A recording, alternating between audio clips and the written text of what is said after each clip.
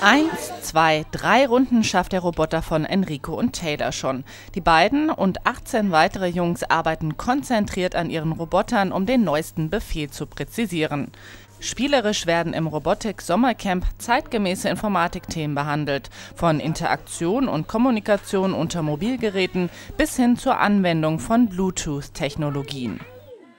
Das ist eigentlich so ziemlich nur Lego-Teile, die, Lego die man wenn man sie richtig zusammensetzt. Und mit, also es gibt spezielle Motoren dafür, die Form also von Legos, die man da befestigen kann. Und ähm, da bringt man die Räder an und man kann die dann über Kabel, die werden dann mit, der, mit dem, mit dem sozusagen Hirn dem, von dem genau. ähm, ganzen Roboter verbunden.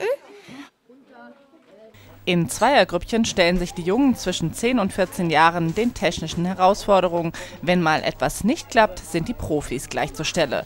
Informatikstudenten der Hochschule Darmstadt agieren als Betreuer und Berater für die jungen Tüftler, selbst wenn auch diese nicht auf alle Fragen gleich die richtige Antwort parat haben.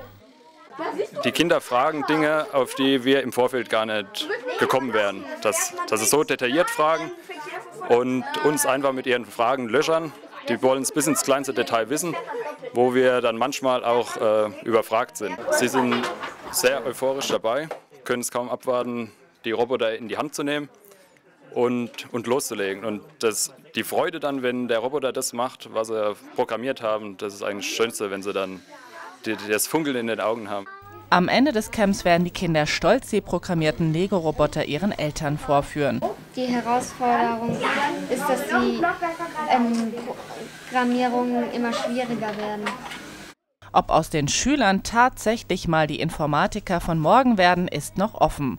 Eins steht auf jeden Fall fest. Wie man sieht, macht das Camp dem Nachwuchs viel Spaß.